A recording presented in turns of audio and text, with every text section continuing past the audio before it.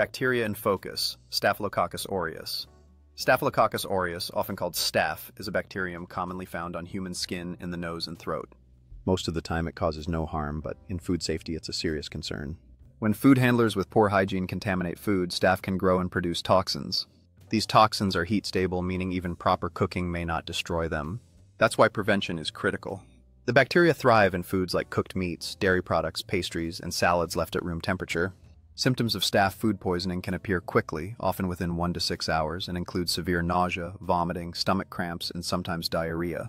The illness is usually short-lived, but it can be extremely unpleasant and dangerous for vulnerable people. Outbreaks are often linked to improper cooling, poor refrigeration, or food handlers touching ready-to-eat foods without proper hand washing. Unlike many bacteria, Staphylococcus aureus food poisoning is not spread person to person through eating contaminated food. It's the toxins that make you sick.